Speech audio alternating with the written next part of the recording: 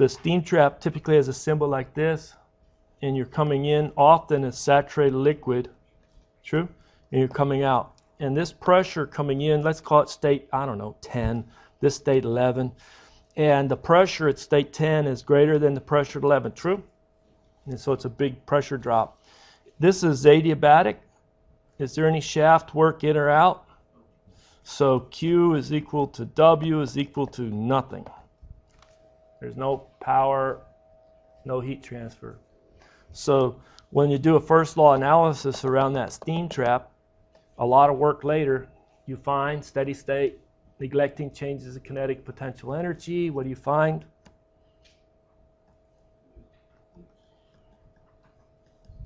Isenthalpic.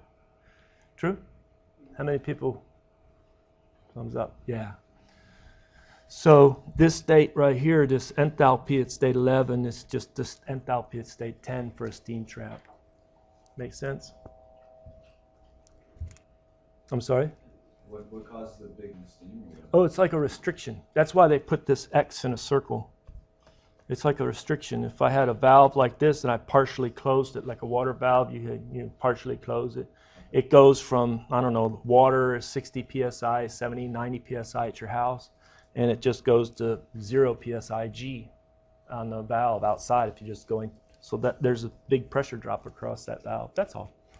And we have the same thing in refrigerants. You'll have a restriction, a capillary tube, or it flows through a little orifice that maybe uh, a needle moves up and down to control the flow rate, a little seat. That's in air conditioning applications. It's just a restriction.